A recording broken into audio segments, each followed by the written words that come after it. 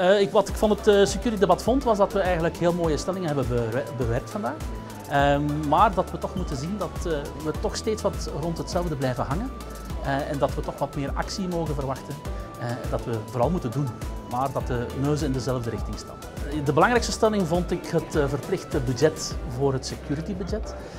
waar toch weer mooi gebleken is dat we vallen over het, de grootte van het budget, 60%, is veel.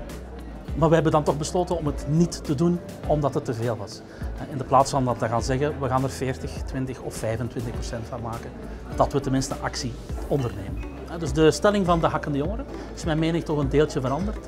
Was pertinent eh, eens dat we te laat waren. Het mooie is te zien dat we toch heel wat projecten op stel hebben en dat de jongeren toch terecht kunnen eh, en dat we de juiste acties aan het nemen zijn.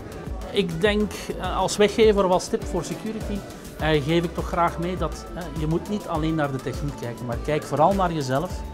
En het moeilijkste is wat men altijd vraagt, wat is een sterk wachtwoord?